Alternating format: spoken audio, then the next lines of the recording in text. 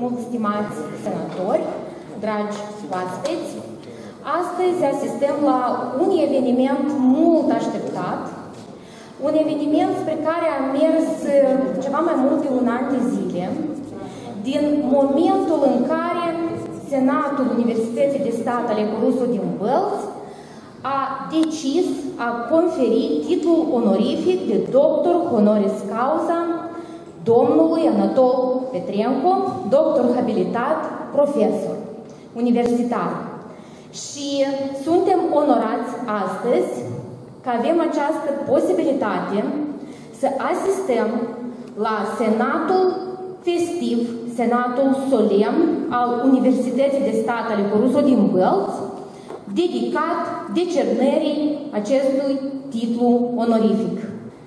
Acum îi oferim cuvânt doamnei Lidia Pădureac, prim prorectorul Universității de Stat ale Coruso din Bălți, care vă da citire laudațiu pentru domnul Anatol Petrencu. Mulțumesc!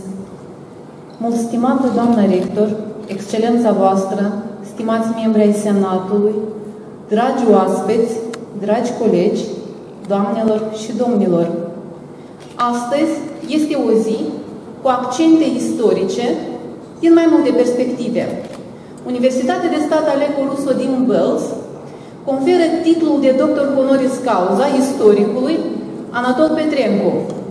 Tot astăzi, acum 31 de ani, a fost proclamată suveranitatea Republicii Moldova, proces în care domnul profesor Anatol Petrencu s-a implicat cu toată inima și cu tot sufletul. Tot astăzi suntem într-o sală care este încărcată cu emoții și încărcată cu accente istorice, întrucât aici, în perioada interbelică, a fost capela Liceului de Fete Domnița Ileana. Și iată, în acest context istoric și în acest anturaj, am deosebita și onorata misiune de a prezenta laudațiu domnului profesor Anatol Petrencu, un nume cunoscut în Republica Moldova și peste hotarele ei. Istoric, autor de 10 monografii, peste 600 studii și articole de specialitate, manuale universitare și școlare, coordonator a 10 volume de documente de istorie orală, membru de onoare al Academiei Civice și membru de onoare al Academiei Oamenilor de Știință din România, personalitate științifică remarcabilă a lumii academice contemporane. Domnul Anatol Petrencu s-a născut la 22 mai 1954 în orașul Căușeni, unde în 1971 a absolvit școala de cultură generală. În anii 1972-74 a exercitat serviciul militar în Caucazul de Nord.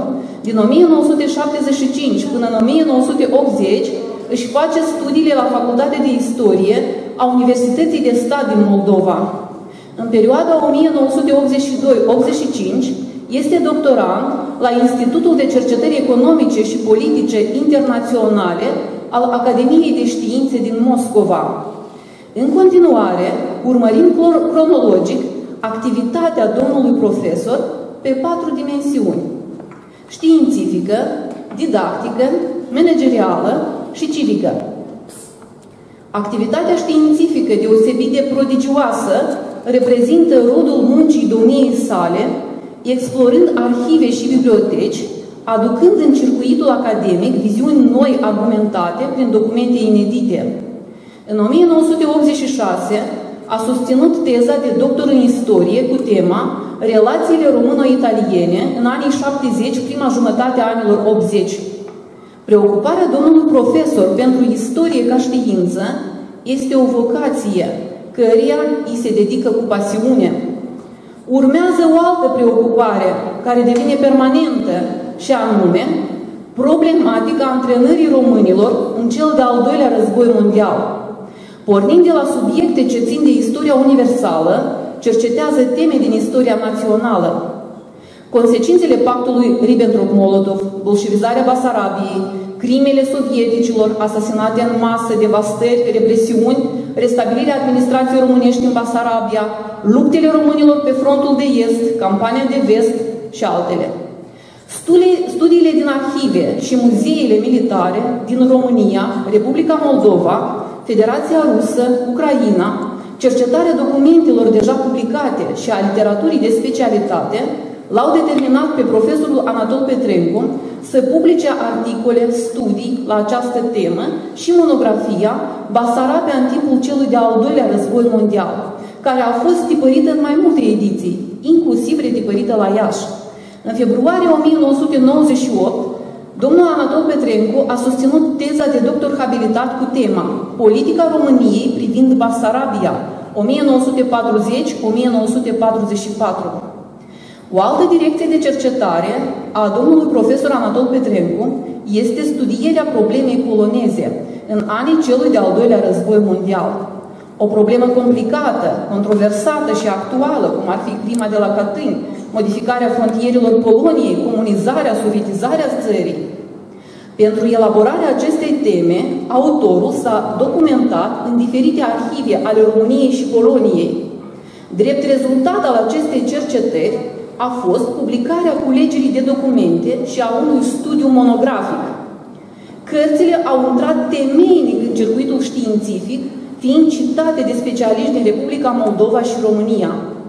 Ținând cont de contribuția domnului profesor Anatol Petrencu la tematica poloneză, președintele Poloniei Komorovski i-a conferit ordinul Crucea de Merit de Argint, iar în 2013 statul polonez i-a oferit medalia Pro Memoria. În 2014, la inițiativa domniei sale, împreună cu colegii din cadrul Centrului de Excelență, Institutul de Istorie Socială Pro Memoria a Universității de Stat din Moldova, a fost elaborat, înaintat la concurs și obținut aprobarea programului de stat, recuperarea și valorificarea istorică a memoriei victimelor regimului totalitar comunist din RSS moldovenească, Direcția Strategică, Patrimoniul Național și Dezvoltarea Societății, pe un termen de patru ani.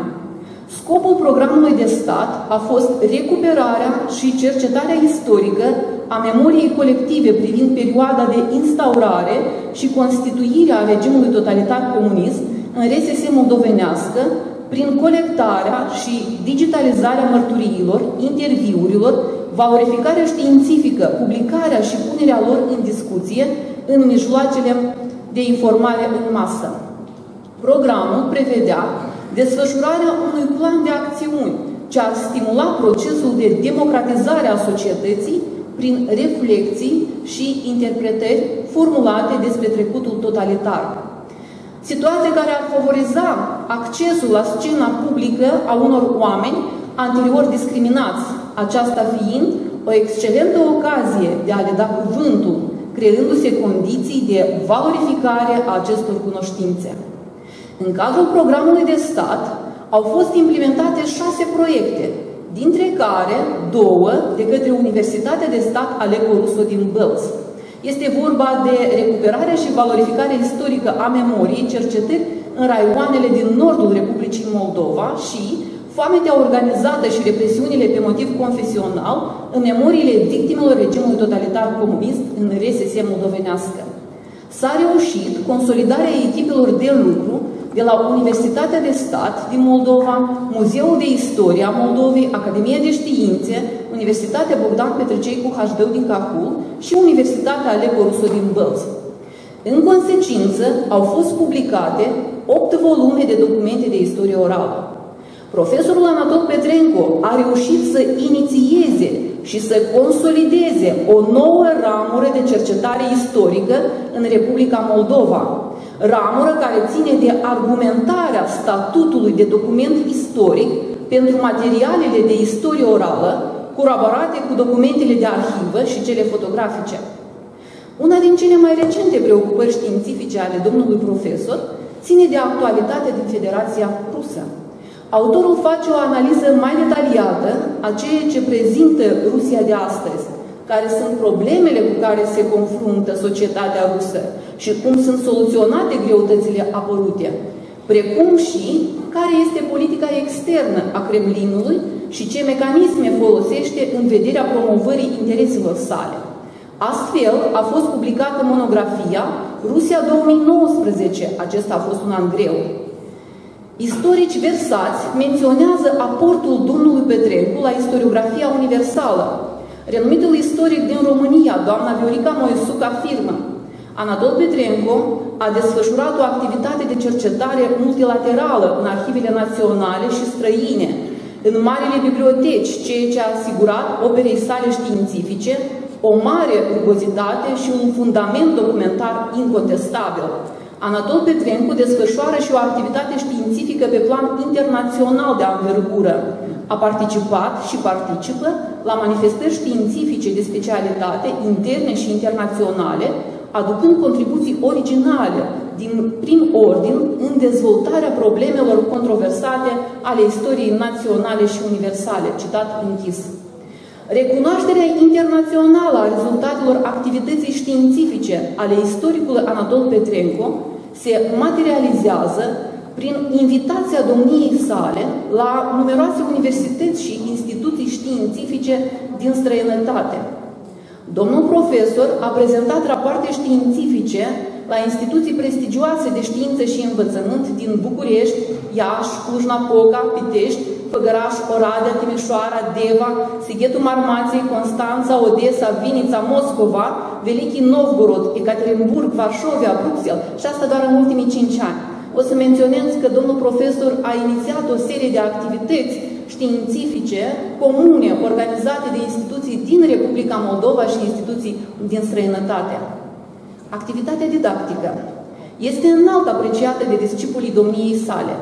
Domnul Anatol Petrenco parcurge toate treptele didactice ale învățământului superior din Republica Moldova și a început cariera universitară ca tânăr specialist în calitate de lector la Catedra de Istorie Modernă și Contemporană, unde a fost repartizat după finisarea studiilor ca unul din cei mai buni absolvenți, fiind îndrumat și susținut de distinsul istoric Alexandru Moșanu.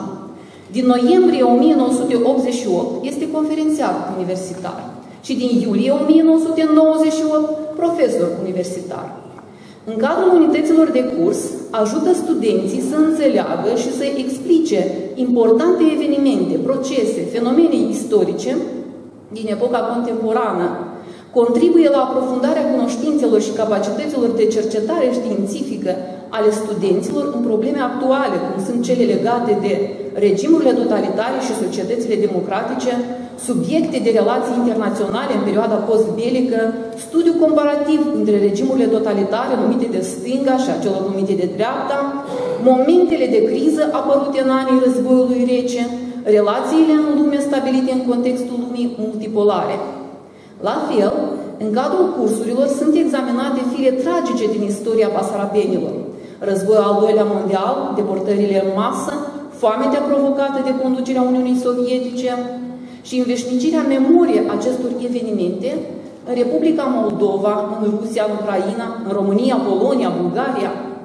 Activitatea științifică se împletește armonios cu cea didactică, întrucât tematica cercetării coincide cu tematica fundamentală a unităților de curs predate.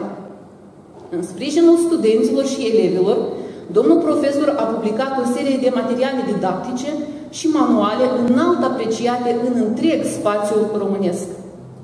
Pentru a păstra continuitatea cercetării inițiate, domnul profesor Anatol Petrenco a pregătit în cadrul studiilor doctorale 11 doctori în științe istorice cu teze susținute, inclusiv actualul rector al Universității de Stat din Moldova, domnul Șarov, inclusiv a subsemnate, fapt pentru care vă sunt foarte recunoscătoare, profesor care astăzi activează în diferite instituții de învățământ academice și de stat din Republică. A format mulți specialiști, profesori de istorie care au reușit să-și consolideze numele în mediul academic și în cel didactic. Activitatea managerială a coincis cu una din cele mai dificile perioade. În anii 1990-92, profesorul Anatol Petrenco a îndeplinit funcția de decan al Facultății de Istorie a a Universității de Stat din Moldova. După destrămarea Uniunii Sovietice și proclamarea independenței de stat a Republicii Moldova, domnul profesor a susținut plenar procesul de democratizare a Republicii Moldova și de revenire la valorile naționale. Începând cu anul 2010, domnul Anatol Petrenco suplinește funcția de președinte al Centrului de Excelență, Institutul de Istorie Socială Pro Memoria al Universității de Stat din Moldova. În această calitate, istoricul Anatol Petrenco s-a implicat activ alături de colaboratorii săi în recuperarea memoriei celor ce au avut de suferit în anul regimului totalitar comunist de ocupație. Un prim rezultat în cadrul acestui centru a fost publicarea volumului Teroarea stalinistă în Basarabia, studii, documente, memorii. Profesorul Anatol Petrenco este redactor șef al bianualului Promemoria, revistă ce se preocupă de problematica memoriei colective. Activitatea civică îi conturează și mai mult personalitatea istoricului Anatol Petrenco, care la începutul anilor 90 nu doar a pledat activ, dar și a luptat pentru introducerea cursului de istoria românilor din instituțiile de învățământ din Republica Moldova, fiind unul din liderii mișcării pentru istoria românilor.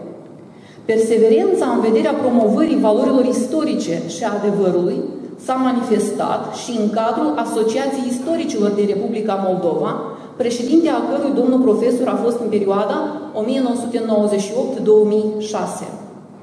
Domnul profesor Anatol Petrenco, personalitate polivalentă, care cu demnitate, onestitate, profesionalism consolidează profilul istoricului adevărat, este înalt apreciat de colegii din Republică și de peste hotare. În acest context, academicianul Andrei Ieșanu menționează, citez, cu o deosebită putere, talentul și capacitățile intelectuale ale lui Anatol Petrencu s-au manifestat în domeniul științei, devenind unul dintre cei mai prolifici și mai profunzi istorici din Republica Moldova. Citat închis. În concluzie, contribuțiile științifice inedite, profunzimea cercetării, verticalitatea, devotamentul față de valorile naționale, cele general umane, creștine și bună omenie îl caracterizează pe istoricul Anatol Petrencu. Stimate domnule profesor, noi, profesorii și studenții Universității de Stat ale Coruso din Bălț, suntem onorați de faptul că ați acceptat să deveniți membru al comunității noastre.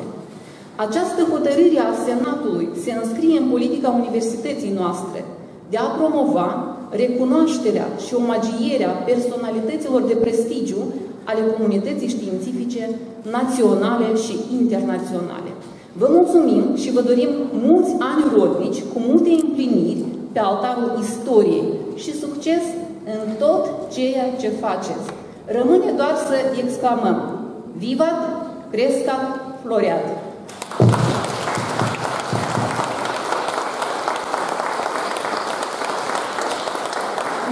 Mulțumim mult, distinsă doamnă prim-prorector, pentru modul în care ați punctat în acest laudație o activitate prodigioasă a domnului profesor, lucru care ne-a făcut și pe noi să savurăm din această prestație de lungul anilor și să înțelegem marea misiune a profesorilor universitari.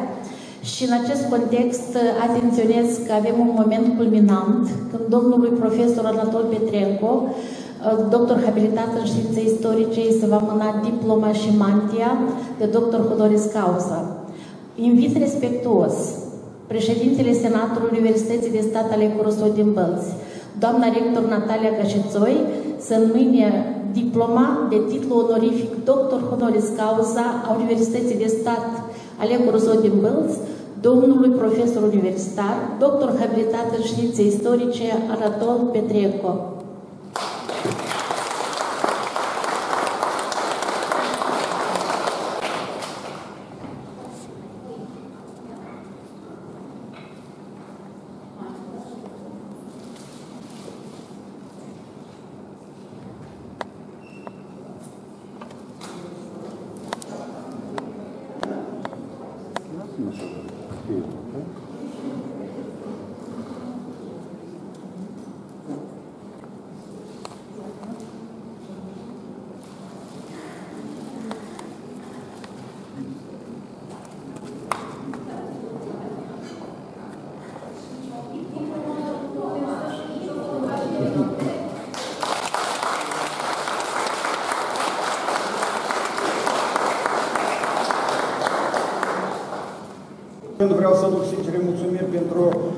Conferirea acestui înalt titlu de doctor honoris causa Universității eh, din Bălți, titlu care mă obligă eh, să continu activitatea de profesor universitar, de istoric, de cercetător a trecutului nostru și uh, am, uh, aș vrea să prezint foarte scurt problemele cu care ne ciocnim noi, profesorii de istorie și uh, ca istorici, ca cercetători a istoriei.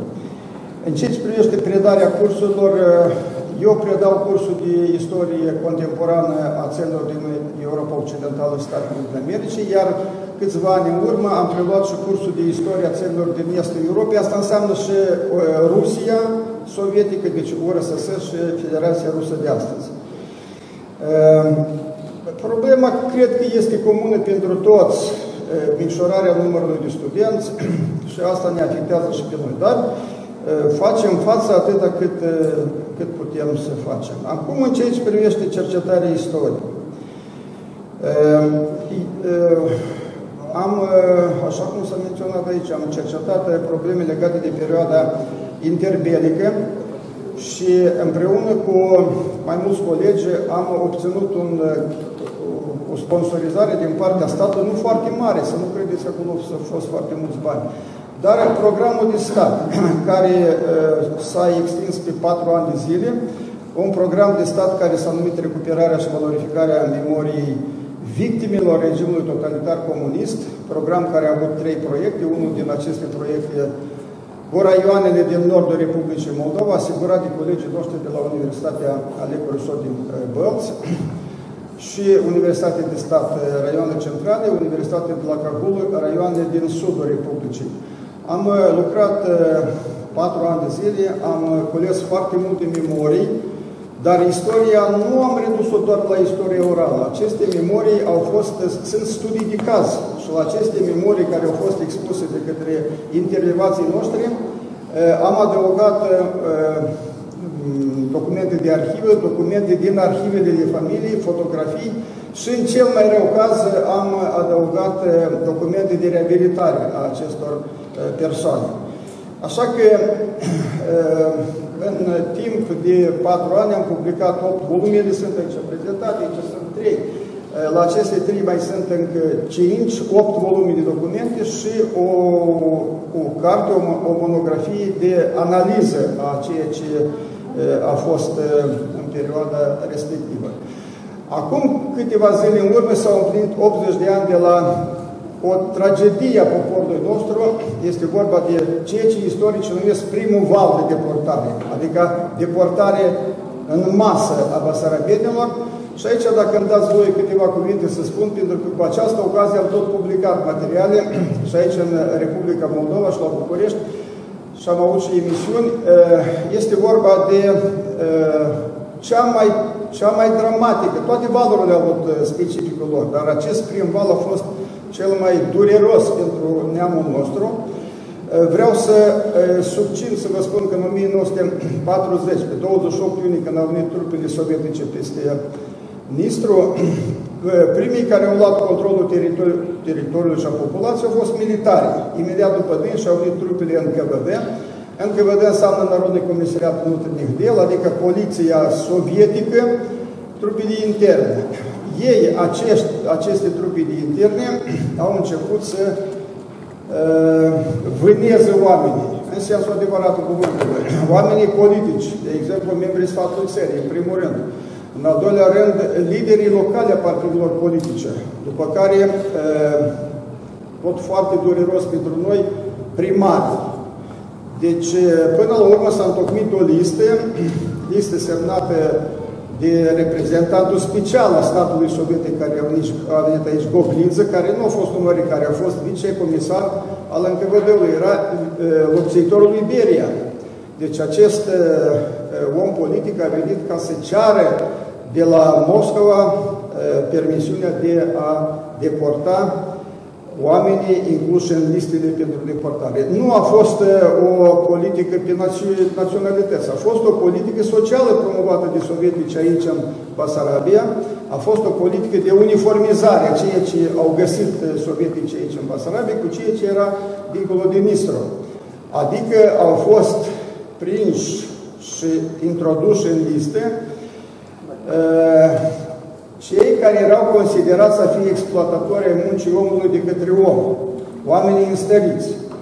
Și așa s-a întâmplat că primarii noștri au fost niște modele pentru seteni. Uh, exemplul cel mai bun poate să îl citim la Boris Vasiliev. Tatălui a fost primar în Reul Orhei. El nu vrea să fie primar. Satul era fără primar și atunci a venit o comisie de la Orhei și a făcut așa o inspecție prin sat și a zis aceasta este o gospodărie model. Și atunci eh, sătenii au fost uh, rugați, au fost îndemnați să-l voteze pe uh, deci tatăl lui uh, Boris Vasiliev. Apropo, noi am făcut lansarea cărții aici la dumneavoastră, la bibliotecă. Stalin mi-a furat copilăria. Mi s-a au fost așa, și scuzați, rog. Deci, câteva cuvinte despre specificul acestei, acestei deportări. Pentru 80 de ani totuși au trecut și noi trebuie să ne aducem aminte. Au fost urcați în trenuri, noi spunem trenuri de vită, lumea toată știe. Dar eu vreau să spun că au fost cazuri când la Strășeni, de exemplu, vagoane întârziau puțin. Și într-adevăr au fost aduse vagoane de vite, dar necurățite. N-au reușit să curăță mizerie după ce au transportat vitele. Și asta eu uimit chiar și pe cei care erau soldații, care erau și păzau uh, oamenii, asta au fost uimiți și le-au dat voie la oameni cu ce au putut ei acolo să rănească aceste vagoane și i-au urcat așa în călduri uh, strașnice, în noaptea de la 12 spre 13 iunie și iată că în așa condiții mizerabile i-au uh, deportat dincolo de Nistru și acolo, la stația Razdelina sau la Tiraspol, i-au scos pe bărbați din vagoane. Femeile au început a plânge, copiii, și atunci s-a lansat una, una, că sunt multe minciuni geniale, la, deci gândite de conducerea, de conducătorii sovietici, s-au spus că bărbații merg înainte ca să vă pregătească vouă locul de trai. Și atunci femeile s-au liniștit, mai mult ca atât, chiar așteptau să ajungă cât mai repede bărbații din urmă. Dar a fost o mare i-au mințit foarte tare, pentru că bărbații au fost duși la uh, Ecaterinburgul de astăzi, atunci Sverdlovsk, și de acolo 580 de kilometri uh, la nord, într-o rețea de lagăre cu cetul la Ivdel. Și iată bărbații noștri, inclusiv mulți evrei, inclusiv uh, bulgari, găgăuzi, deci indiferent de naționalitatea care era, Iată că acolo și-au găsit moartea în iarna de la 1941 spre 1942. Începuse război, începuse războiul și se pare că conducerea sovietică a uitat de așa acolo. și ei au murit foarte mulți. Acum, acest program urma să fie prelungit în 2019 am înaintat o continuare a programului de recuperare a memoriei. Vedeți că lumea este, cum să vă spun, trecătoare. și oamenii cu care am vorbit au o vârstă foarte înaintată. Deja am încercat să, și, și lucrăm cu oamenii care s-au născut în Siberia sau în drum spre Siberia, în vagoane. Și am înaintat conducerii, adică așa cum noi pot să cu regulile de la noi, am înaintat un proiect de continuare a acestor cercetări și cu regret linia au trecut deasupra noastră, iar uh, primul, fostul prim-ministru Ion Chic a zis că așa teme nu interesează, că astfel de teme, a zis dacă să vedei domnii domni, așa au zis. Noi am tras concluzia că e vorba de România, că e vorba de domnii domni. Că tot cineva din străinătate să plătească uh, să cercetăm noi istoria poporului nostru. În orice caz, după schimbarea situației de aici, de la noi, iată că pe data de 13 iunie, în fața gării, la monumentul în memoria deportaților, a vorbit doamna Maia Sandu și a vorbit actualul prim-ministru, este adevărat interimat, Aureliu Ciocoi, Și dați-mi voi să citesc ceea ce a spus. El, el s-a adresat la noi, la istorici. Citez, au trecut 80 de ani de la primul val de deportare și iată că astăzi, în cadrul meetingului actual, aflu că, de fapt, primele deportări au fost în septembrie-octombrie 1940. Nu e rău nici așa că află la, la așa vârsta lui, pentru că asta în școală ar fi trebuit să fie. La scurt timp după anexarea Basarabiei de către fosta Uniunii Sovietice. Lucru care cu certitudine trebuie să-l studiem și care trebuie să rămână ca un fir roșu în curicula de studii, atât pentru etapa liceală, cât și pentru cea universitară. Spus foarte frumos. Cred că e un element care ține de demnitatea istoriei noastre. Să-l cunoaștem, să-l continuăm, să-l predăm urmașilor noștri. Și mai jos. Această filă a istoriei noastre trebuie să rămână în permanență una vie și eu fac acum, cu această ocazie, un apel către istorici, către noi. Cred că lipsește pe socul acesta lista nominală a fiecărui moldovean care a devenit victimă încălădăului și a terorii bolșevice. Și cred că este de datoria noastră și de datoria celor care ne vor urma să ducă până la capăt această sarcină, să caute în arhive, să deschidă arhivele încă închise, să căutăm în toate colțurile și să știm exact cu, ce, cu nume și prenume cine a fost ridicat. În fond, noi știm despre ce este vorba. Lista este cartea memorii, patru volume. Și noi, în cadrul programului de care v-am spus, am mai completat aceste liste, pentru că ele nu sunt complete, dar atunci când vorbești cu oamenii, așa de gură, gură, afli că au mai fost deportați și n-au n-au fost înscriși în carte Deci noi am făcut completările respective. și spune domnul prim-ministru actual, o altă acțiune care mi se pare absolut necesară poate să fie chiar un pic dureroasă pentru noi, să mai aflăm și cine i-a denunțat. Și iată aici mă tem că adevărul va fi unul foarte neplăcut pentru noi ca națiune. Însă, indiferent de rezultatul acestor studii, indiferent de adevărul care va ieși la iveală, eu cred că trebuie să avem suficient de tării de caracter. Eu ce vreau să spun? Dosarele care au fost întocmite, nu știu cum, cum s-au întocmit. Dacă, de exemplu, o persoană era considerată chiabur, chiabur asta înseamnă 6-8 hectare de pământ și el, în timpul toamnei, în timpul roadei, mai chema niște oameni la ajutor. Așa se întâmplă la noi. Când strânge roada, lumea să, să ajută, chiar rudele dintre dânsele. Și noi avem dosare, când eram interogați, de ce au folosit munca nemită? Ehm, cel care era interogat spunea, dar ăștia au fost verișorii mei care au venit să lucreze. Ăștia sunt vecinii mei, că noi ne ajutăm reciproc. Asta nu conta pentru sovietici. Faptul că ei lucrau, chiar dacă erau rude, asta nu conta. Îi trecea, îi trecea acum în listă de exploatator a muncii omului de către om.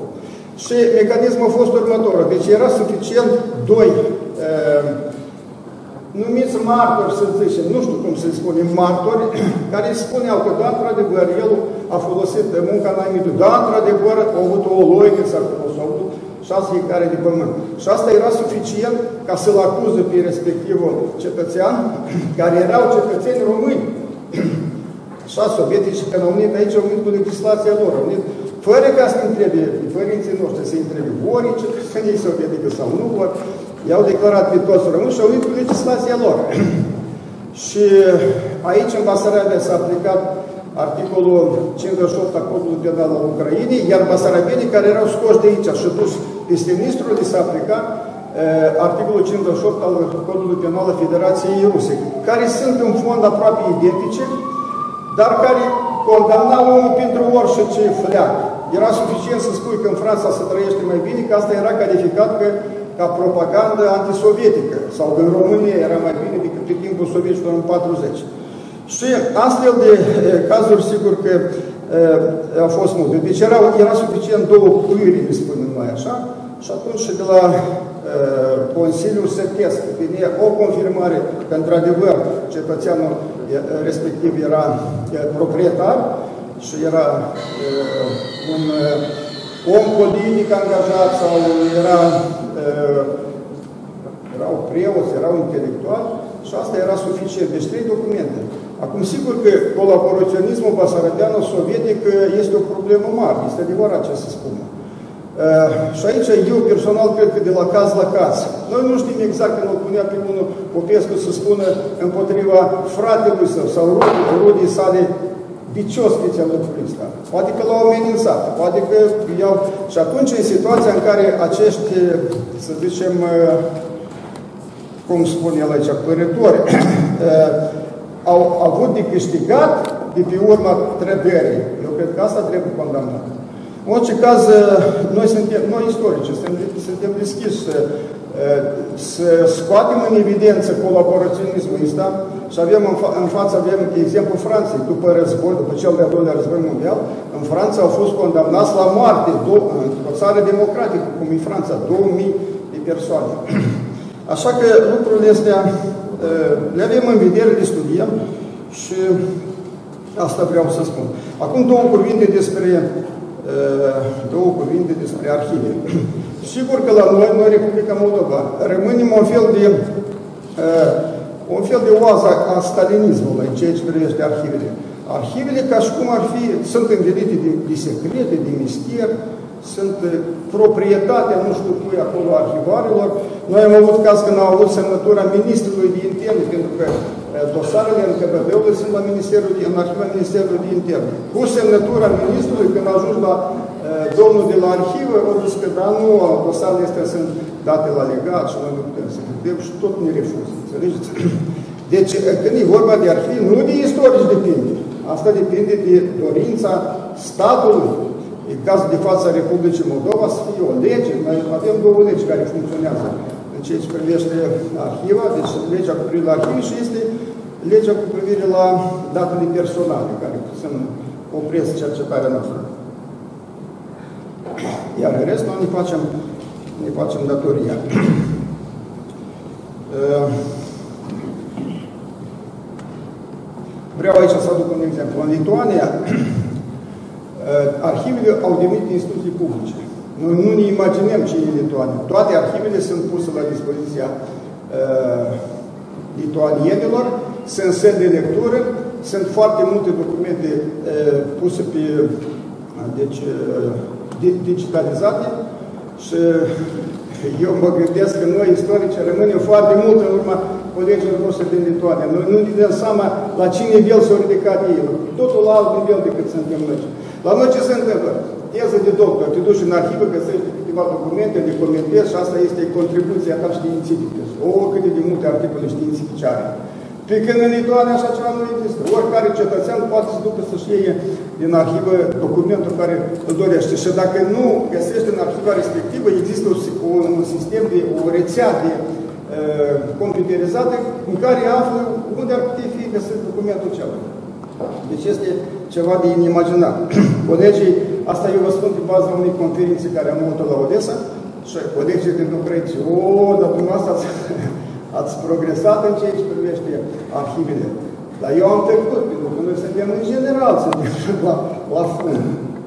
Acum, în ceea ce privește uh, activitatea uh, Centrului de Excelență, așa se numește uh, Ines Pro Memoria, în 2020 am uh, organizat o conferință științifică consacrată 30 de ani 30 de ani de la sud, proclamarea suverenității de stat a Republicii Moldova, iar în acest an uh, dorim să uh, organizăm o conferință internațională consacrată împlinirea 30 de ani de independențe de stat a Republicii Moldova. Cu acest prilej invit și Universitatea uh, data, anul trecut am colaborat cu câteva persoane și vă invit și pe dumneavoastră, cei care uh, cercetați istoria, cei care aveți ceva de spus legat de anul respectiv, uh, 1991, și vom organiza pe data de 23-24 august în format mixt, o parte în sală, o altă parte pe, pe internet și vă invităm la, să participați la această manifestare. Și acum aș vrea cumva să mai spun câteva probleme care ne leagă. Vedeți că noi cumva suntem martorii unui război hibrid. Un război care îl poartă Federația Rusă în dorința de a restabili Imperiul Rus sau Sovietic. Pentru conducerea de astăzi nu există a Rusiei, nu există Ucraina, nu există Belarusia, astea sunt considerate ca niște proiecte occidentale, ca și cum nu există voința poporului, ca și cum există guverne, parlamente, partide și așa mai departe. Și sigur că istoria în acest război hibrid are un loc important și destul de mare. Pentru că propaganda rusă face, se bazează pe multe, multe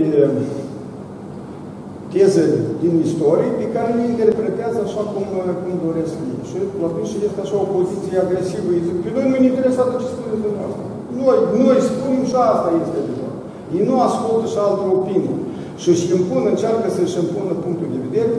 Nu știu, spre bucuria sau spre regretul nostru și Vladimir Putin a început să scrie articole teme de istorie, chiar azi 23, chiar ieri a publicat un articol în care s-a adresat, el a publicat într-o revistă germană, un articol în care cere împăcare cu Germania și spune că ce a fost atunci, hai să treacă, să treacă așa cu, cu vedere, hai să ne împăcăm. și în textul ăsta care îl prezintă Vladimir Putin, sigur că spune și niște neadevăruri. El spune, de exemplu, după ce a cucerit întreaga Europa, Germania a atacat Uniunea Sovietică, el și 22 iunie 1941. Ceea ce nu este adevărat.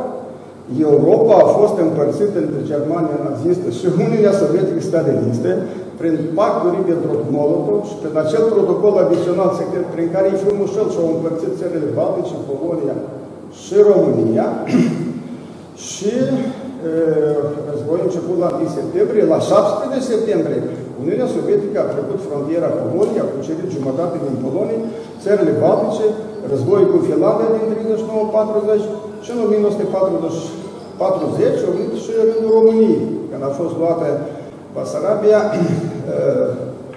nordul Bucovinii și ținutul Chersк. Așa ar trebui dispus, trebuie dispus așa cum a fost. Acum noi, cei istorici basarabeni, de foarte multe ori spunem 22 iulie 41, război agresiv al României împotriva uh, URSS. Uitați-vă în manuale ce spus. Domnilor, sigur că noi nu punem condițional, istoricii n-au condițional.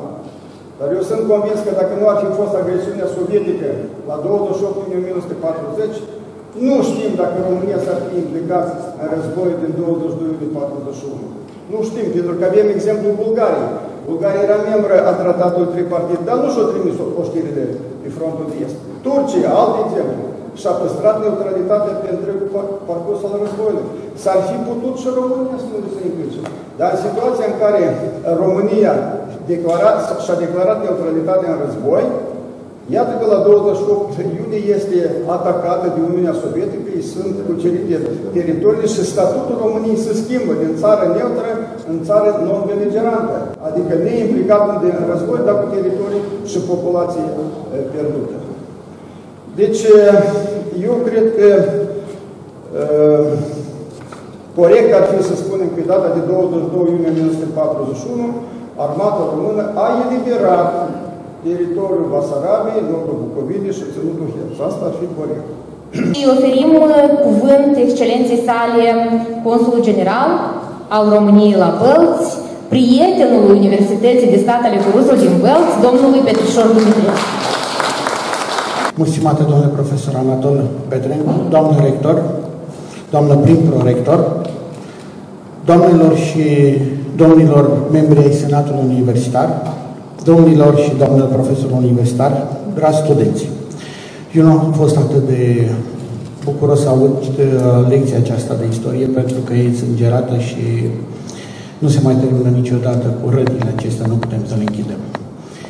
Pot să vă spun, domnule profesor, că ieri am fost la Dundușeni și uh, Episcopia de Bălți a amenajat uh, mormântul lui Simeon Galinski. A fost tot așa o uh, lecție de istorie dureroasă pentru noi toți, dar iată că noi românii ne preocupăm să ținem trează această flacără a istoriei uh, în mod corect. Eu vă mulțumesc pentru autenticitatea celor spuse de dumneavoastră. Vă felicit că vă mențineți această verticalitate, dar din păcate e dureros pentru noi toți. Vă mărturisesc, în primul rând, că sunt profund onorat, dar în același timp și emoționat cu această ocazie deosebită, prilejuită de solemnitatea de conferire a titlului doctor honoris causa al Universității de Stat ale Corso din municipiul Bălți, domnului profesor Anatol Petrencu, doctor habilitat, profesor universitar, membru de onoare al Academiei Civice și membru de onoare al Academiei Oamenilor de Știință din România, ilustru savant, distins om de cultură și neobosit istoric al neamului românesc. Am remarcat, domnule profesor, activitatea științifică a dumneavoastră concretizată în cărți, studii, articole, manuale, culegeri de documente, cursuri care analizează cele mai diverse probleme ale istoriei și culturii, abordate din perspectiva unor idei și concepții originale. De-a lungul timpului, domnul profesor a contribuit la formarea numeroși cercetători care cu pasiune și aleasă competență continuă activitatea în domeniul istoriei. În prodigioasa ei activitate de pasionat cercetător al istoriei, un loc, un loc aparte revine problemelor fundamentale ale istoriei românilor. În 1986 a susținut teza de doctor în istorie cu tema Relațiile româno-italiene în anii 70, prima jumătate a anilor 80. În anul 1998 a susținut teza de doctor habilitat cu tema Politica României privind Basarabia. 1940-1944. Ulterior a publicat monografia Basarabia în timpul celui de-al doilea război mondial. La inițiativa sa a fost elaborat proiectul de cercetare științifică Românii în Gulag, recuperarea și valorificarea istorică a memoriei victimelor regimului totalitar comunist în Basarabia. 1940-1941 și 1944-1953 proiect ce a obținut susținere financiară în vederea realizării din partea Departamentului de Politici pentru relația cu românii de pretutindeni din cadrul Ministerului Afacerilor Externe al României pentru anii 2013 și 2014. Drept rezultat, au fost publicate două volume de memorii și mărturii români în Gulag. Privind retrospectiv opera de cercetare istorică a domnului profesor, observăm că s-a orientat asupra studierii istoriei interne a Basarabiei, dar și a relațiilor internaționale pe care le-a întreținut în contextul statutului constituțional pe care le-a avut de-a lungul istoriei. O contribuție substanțială a avut în procesul de democratizare a Republicii Moldova prin revenirea la valorile autentice ale neamului românesc.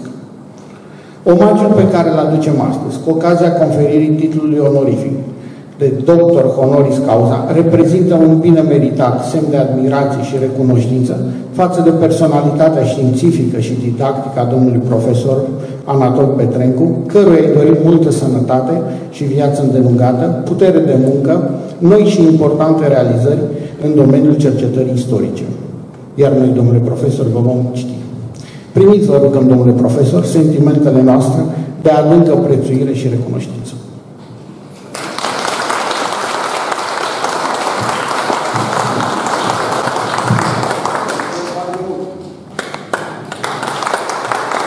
Să-i oferim uh, un cuvânt de felicitare domnului conferențiar universitar, doctor Teo Teodor Marșalkovski.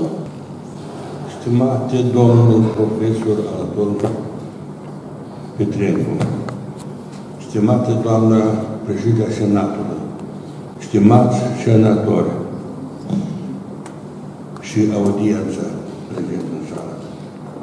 Astăzi asistăm la un eveniment foarte important, foarte important în viața publică a Universității de Stat Alecu Ruso și eu cred că și a Republicii Moldova. Remarcăm, de fapt, și acordăm distinții uh, unui profesor remarcabil, remarcabil, foarte cunoscut în spațiul basarabian și departe de Basarabia. Eu urmăresc atent ziarele, revistele cu referință la activitatea domnului Petrencu, pentru că multe cărți în temă procurat, se produc un nivel foarte mic, tirajul mic, și observ că în Republica Moldova, într-adevăr, sunt o serie întreagă de istorie și puternici moderiști. Deci eu exclud cuvântul istorie contemporană, fiindcă istoria contemporană este vorba de lovitura de stat din 17 și ea provine din spațiul răsăritean. Asta este domnul Petrencu, este istoric modernist. El a integrat am dreptate. Asta e poziția mea, care eu o respect. Deci, uh, el este un istoric de o forță enormă. Uh, este preocupat de problemele începutul secolului 20 foarte complicate, sub toate aspectele și falsificate masiv. Și perioada mai din coace, mai ales perioada războiului al doilea mondial, și acesta falsificat și politizat considerabil. Domnul profesor Petrencu a descifrat aceste nuanțe esențiale ale istoriei civilizației Europei, României și a Basarabiei. Este un mare merit care trebuie apreciat, atestat și știut în genere de publicul la cititor și care se interesează de istorie. Domnul Petrencu, în afară de cercetare care nu se pune la doială și s-a vorbit foarte frumos despre cercetare, este un om de cultură, de o cultură vastă, remarcă în mod special. În timp îndelungat a fost președintele Asociației Istoricilor de Republica Moldova, o organizație care a mobilizat uh, societatea istoricilor și a oameni de cultură uh, foarte puternic pentru a retrata problemele falsificate și politizate și ideologizate. Asta este o mare minte de domnul Petrencu. Domnul Petrencu a extins foarte multe uh, idei și cărți scrise de alții și de domnia sa între iubitori de carte, de istorie. Uh, chiar în ultimul timp, este foarte modest, vreau să spun, stimați uh, membrii Senatului, uh, el se teme ca nu cumva cineva să-i fac o replică la publicația, de ultimul articol publicat într-o revistă, domnia sa spune că nu cer, văd că recenziere. Un material care uh, a criticat o lucrare rusească, foarte agresivă, eu nu o cunosc, dar din revista de referință, din material de referință, am citit și lucrarea domnului Petrenco. Am citit, vă zic, și am fost nevoit ca să-i fac o replică. Primesc la domnul Petrenco o mulțumire, adică, adică noi lucrăm în acel direcție, dar el mi-a mulțumit. Asta e vorba de modestie, domnul Petrenco. Și de ponderea lui în, în înțelepciunea lui, vreau spun, înțelepciunea lui. Uh, stimați membrii Senatului, faceți un lucru foarte bun că acordați acest titlu onorific domnului Anton Petrencu. Foarte frumos. Uh, fiindcă noi avem în Republica Moldova o serie întreagă de oameni de cultură care merită foarte mult, dar noi îi uităm. Domnul Petrencu face parte din acest aspect de a readuce, de a retrata, de a re, renui, de a împrospăta cunoștințele oamenilor. Eu exprim satisfacție și mulțumire electoratului nostru, Senatului, care a găsit de cuvință să acorde acest înalt titlu onorific de doctor honoris cauza. E meritat.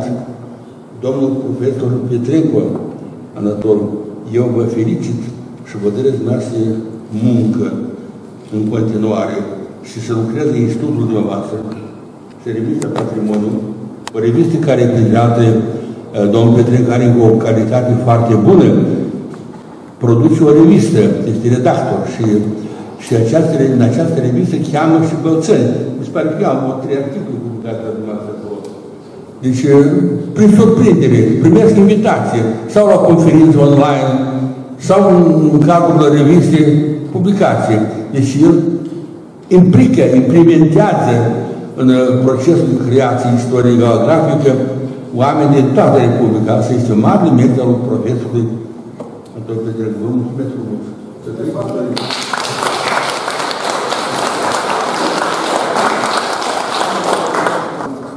Mulțumim, vă mulțumim mult. Îi oferim acum cuvânt domnului doctor conferențiar universitar, șefului Catedrei de Literatură Română și Universală, domnului profesor Nicolae Leacu. Vă rugăm. Nu întotdeauna istorie. Doamna președinte a Senatului, domnule profesor Anatol Petrencu, am ținut să spun câteva cuvinte cu acest prilej, pentru că ne-am intersectat uh, o singură dată cu domnul profesor uh, Adel Petrenco la o lansare de carte care s-a ținut într-adevăr în universitatea noastră, deși îl cunosc uh, de foarte multă vreme în calitatea domniei sale de istoric și de istoric foarte activ. Și am vrut să-i spun cumva public că uh, mă simt confortabil în această lume foarte desigură atunci când mă gândesc la niște oameni care transmit către mine și către toți ceilalți, semnale de fermitate, de siguranță, de profesionism. Și uh, în același timp să-i urez sănătate, putere de muncă și noi realizări în activitatea domniei sale științifică, pentru că, sunt să spun și lucrul acesta, avem astăzi o generație de istorici absolut admirabilă. În Republica Moldova a apărut o generație de istorici, tineri, uh, absolut remarcabili. Și uh, mulți dintre ei sunt produse ale școlii științifice a profesorului uh, Anatol Petrenco și a profesorului domniei sale, Alexandru Moșan. Felicitări încă o dată, urări de succes!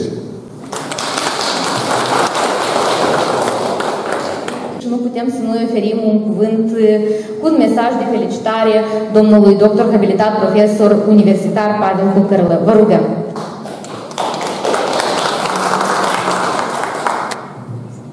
Vă mulțumesc multă, onorată asistență. S-a vorbit despre domnul Petrecu ca cercetător. Eu am un staj de muncă de 51 de ani și printre cei care au trecut pe lângă mine și pe lângă istorie un mediu se înscrie fără îndoială domnul Petrenco ca unul din personalitățile care manifestă un deosebit interes față de istorie. Ce vreau să spun eu? Vreau să spun că ca familist nu, nu se discută. Dacă vă zic, o să treceți pe alături, ziua, seara sau, sau când nige pe lângă casa domnului Petrenco, nu veți scăpa dacă nu veți trece să luați o pahar de cafea, să discutați o nouă carte care a apărut, iar Domnul să vă ofere. Dacă dumneavoastră aveți nevoie de un cuvânt care nu-l găsesc nici în text așa mai departe, sunați Domnului uh, uh, respectiv, uh, iar doamna Linda o să caute și o să găsească și o să vă pună numai decât această carte la mână. Ce vreau să spun eu, ca student? Ca student era un student exemplar, la seminar foarte, foarte activ, la conferințe, de asemenea cu referate, are o experiență bogată de cercetare, în general, eu le spun acum studenților mei care sunt tânăra generație, zic eu, aș dori foarte mult ca dumneavoastră să cercetați, să dați producție cel puțin o treime din ceea ce a produs domnul Petrencu. Eu îl prezint pe domnul Petrencu la studenții mei ca un exemplu de cercetare, de omenie, de atitudine foarte serioasă față de ceea ce scrie. Eu știu că dumneavoastră când îl întreb ceva așa mai departe, stați ca cuș, eu găsesc. Și domnul, domnul Petrecu nu mai decât va găsi. Stimate coleg, din aștept 51 de ani care i-am lucrat, dumneavoastră sunteți printre cei mai buni studenți pe care i-am eu în suflet și în inimă. Eu vă doresc dumneavoastră multă, multă, multă sănătate. Să știți că când am nevoie, am să mă mai refer la dumneavoastră, Chiar dacă eu sunt medievist și epocile noastre nu coincid, atunci vreau să vă spun că prietenia, ă, atitudinea dumneavoastră față de colegi, față de soți și mai departe, el este, este un exemplu. Eu vă doresc dumneavoastră multă, multă sănătate, să știți, domnul Petrencu, că eu mă bucur că dumnealui este unul din cei mai buni studenți, care i-am avut la universitate. Domnul Petrencu, felicitările mele, sincere felicitări cu ocazia acestei marți sărbători. Poate că ea trebuia să devină mai devreme, dar ea a venit atunci când trebuia. Onorată asistență, mulțumesc mult, mulțumim mult încă o dată pentru prezență, pentru răbdarea care ați prezentat-o astăzi. Iar domnul Petrencu nu am altceva decât să spun că îi doresc multă, multă, multă sănătate și că mă mândru, mă mândresc cu faptul că domnul Petrencu a fost și studentul meu. Îl avem astăzi alături de noi pe șeful secției Nord Academiei de Științe Republicii Moldova și oferim cuvânt doctorului habilitat, profesorul Valeriu Capcelea. Eu sunt onorat că am ocazia să cuvântez după profesorul meu, Pavel Cocârlă, care m-a învățat și m-a îndrumat pe acest drum foarte nevoios al cercetării și vreau să îl felicit pe domnul Anton Petrencu, pe care îl cunosc. De 20 ceva de ani și cineva a spus că el invită acasă. Iată, am fost eu invitat prin 1000, prin 2000 la Dumnezeu acasă și m-am pricopsit cu foarte multe cărți. Foarte importante cărți, care la încep, în acea perioadă erau foarte, foarte prețuite. Eu mi-aduc aminte de o carte, ceva de genul Istoria contemporană, care atât de mult a fost solicitată de la mine, că dacă vă arăt acum, ea se împrăștie toate, e lipită cu scoci, pentru că Dumnezeu, într-adevăr, a fost cel ce a deschis noile drumuri ale istoriei plaiului nostru și a dezvoltat această istorie. Eu, filozofii, de fapt, au perioade așa de grație, perioade cele mai fructuoase, numite acmări. Eu consider că domnul Petrenco este în perioada cea mai de vârf, pentru că perioada cea mai importantă pentru un cercetător este de la 60 la 70 de ani. Dumneavoastră mai aveți cum până la 70 noi așteptăm la dumneavoastră mari realizări în continuare și încă o dată vă doresc multă sănătate și ca această perioadă de acmă să se materializeze cu noi și noi cercetători.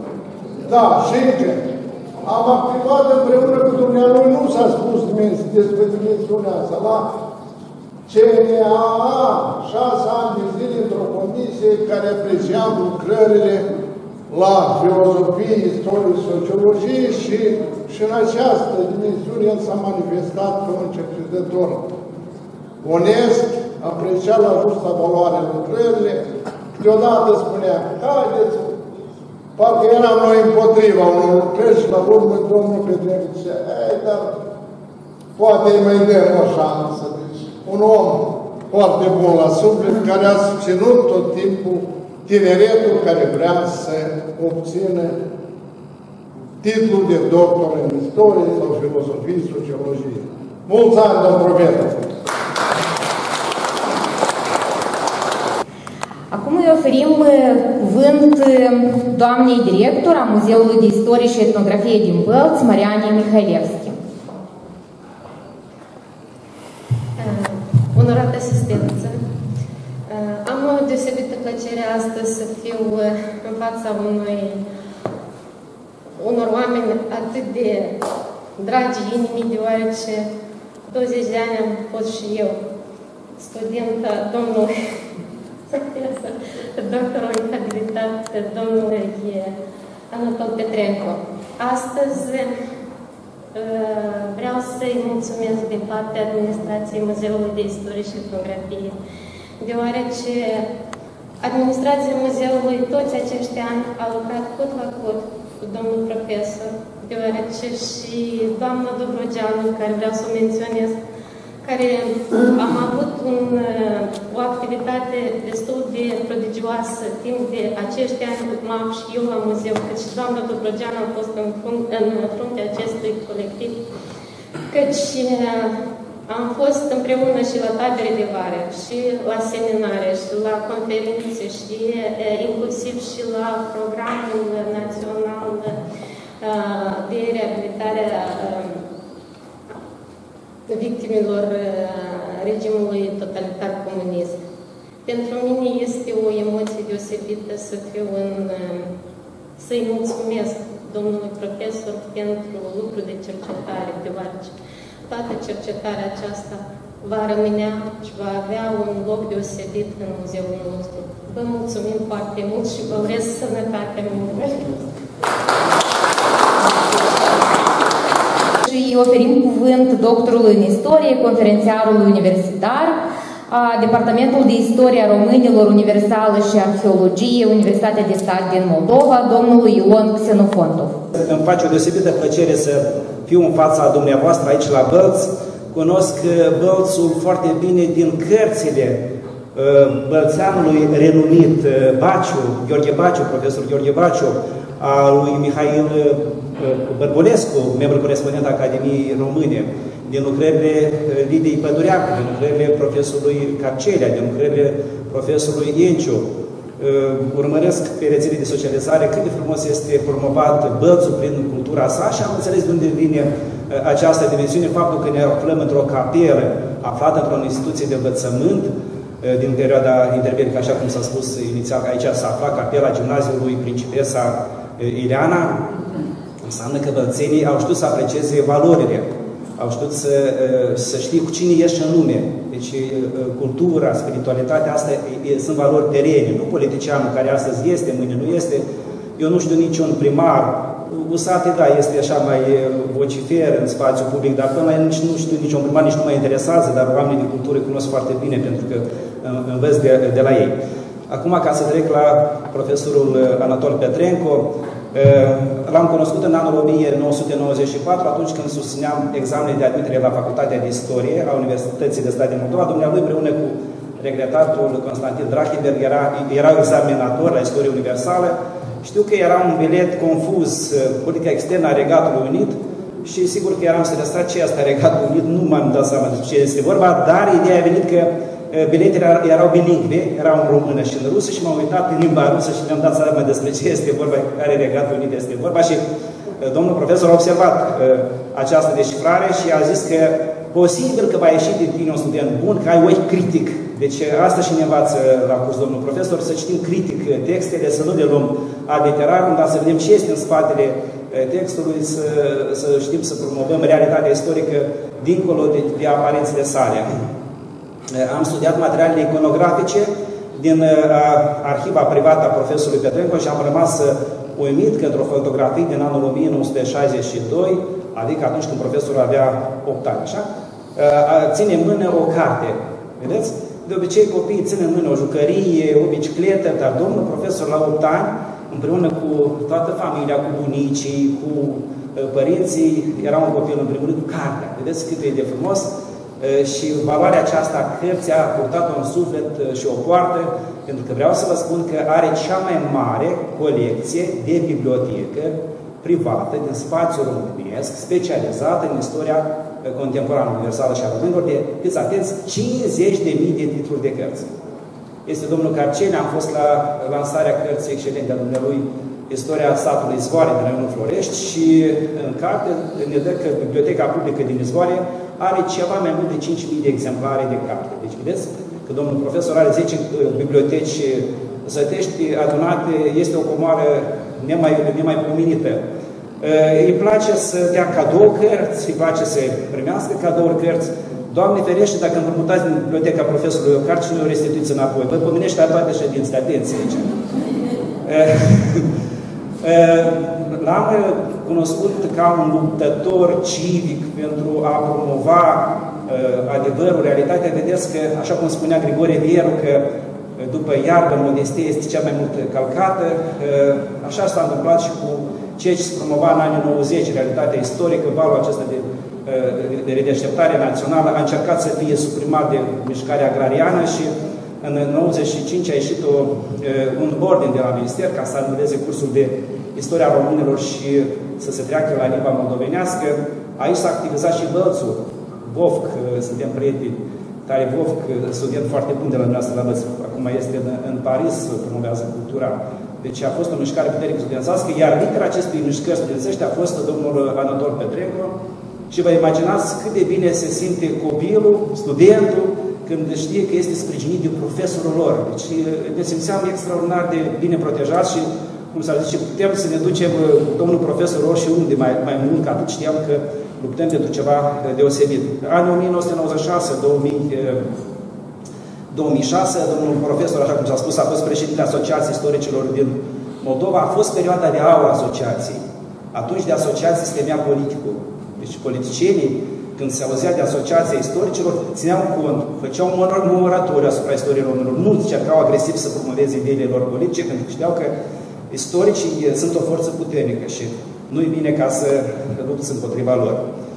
Ce ține de dimensiunea aceasta a vieții private a domnului profesor, duce un mod de viață spartan, se trezește la ora 5, face sport la Valea Morilor, dar și atunci este istoric, pentru că studiază istoria spațialității. Ia un aparat de fotografiat, a făcut istoria gunoiului de la Valea Morilor, le-a clasificat, o cercetare de vreo 8 de zile și a scris 3 pagini. Deci, uh, vedeți că e foarte uh, pedant de ceea ce scrie. Este istoricul institut. Și am să vă uh, argumentez din ce cauză. Anul trecut, în 2020, în această carte scrie foarte bine, a publicat producția editorială a profesorului Petrencu, este de 30,5 coli de autori, așa? o coală are 40.000 de semne, asta e undeva 15 pagini. Asta e activitatea unui institut întreg, dacă vreți știți.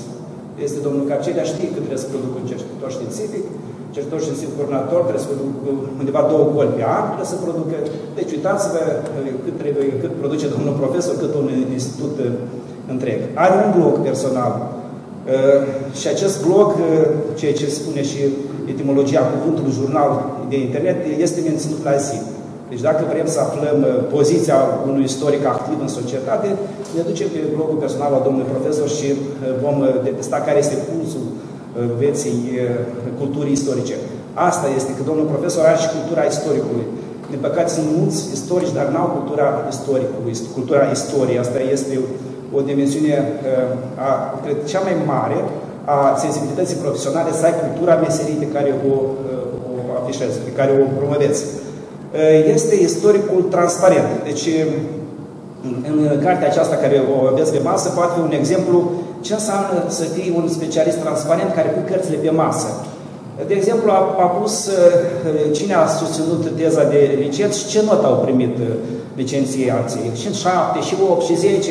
Uh, este profesorul care se verifică dacă nu e depășit de timp. Și dar știți cum se verifică? La sfârșit de an face un test în cadrul studenților și întreabă puncte forte ale cursului, puncte slabe. Și dacă uh, este o critică constructivă, neapărat ține cont ca să se îmbunătățească. Deci în creșterea aceasta profesională, occidentală, filiera occidentală vine, în, în Universitatea în America nu așa se procedează. Profesorii se notează, se verifică dacă nu sunt depășiți de timp și este un indicator foarte important pentru noi să știm, nu suntem, suntem în ritm cu ceea ce se întâmplă în societate.